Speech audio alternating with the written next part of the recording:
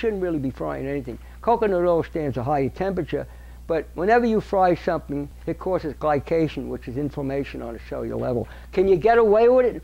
Remember, everything is a balance. If you're doing everything, you're doing most things right, and you do a few things that are not 100% right, you're going to get away with it. I'm trying to give you a formula that you, that you go by, right? Eggs, fish, you know, watch out for the mercury in fish. You know, the bigger the fish, the more mercury. Sardines are probably the best fish to eat. You know, make sure you're not, try not to fry it. Always eat it with vegetables. That's the, always eat everything with vegetables. Grains, you know, leave out brown rice, I eat brown rice, millet, buckwheat, and quinoa, leave out whole wheat, you know, leave out the glutinous grains. A lot of doctors says gluten has nothing to do with anything. That's, that's not true. Meat, if you, if you want to eat meat, make sure it's grass-fed, you know, don't, uh, if it's organic, it doesn't necessarily mean it's grass-fed.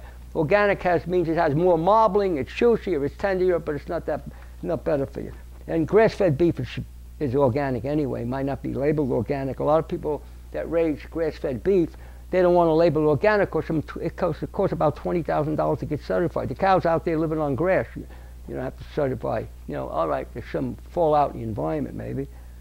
Chicken, remember, you don't need a lot of animal protein. That's the key. And I'm so glad that my grandkids do not eat a lot of animal protein. They eat very little, some eggs here and there. Uh, they're doing really good, and I'm very happy for that.